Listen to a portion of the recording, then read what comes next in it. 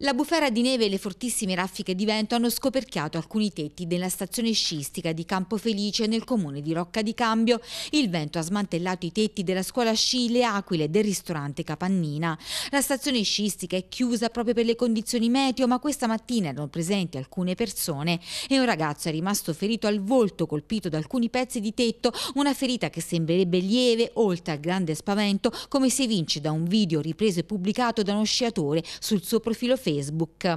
Una situazione di grande apprensione, quella che si è generata dunque questa mattina nella stazione sciistica di Campofelice, brutto epilogo di una mattinata e di una giornata di maltempo che sta creando disagi in quota, dove le immagini di una baita dietro la nota capannina nella frazione lucolana di Casamaina fanno intendere quanto forti siano le raffiche di vento sull'altopiano delle Rocche. Una tromba d'aria che non sta risparmiando nemmeno l'altopiano di Campo Imperatore e la città dell'Aquila, dove osservati speciali sono soprattutto alberi e cantieri della ricostruzione. Sono questi i primi pericoli, punti da cui occorre stare assolutamente lontani, almeno fino a quando la tromba d'aria che sta interessando tutta la provincia non cesserà. L'appello ad adottare la massima attenzione in prossimità di alberi, cantieri e in generale abitazioni che presentino qualche criticità sono i tecnici della protezione civile dell'Aquila. Raffiche di vento che vanno dai 40 agli 80 km orari e che stanno avvolgendo la città, le frazioni e il comprensorio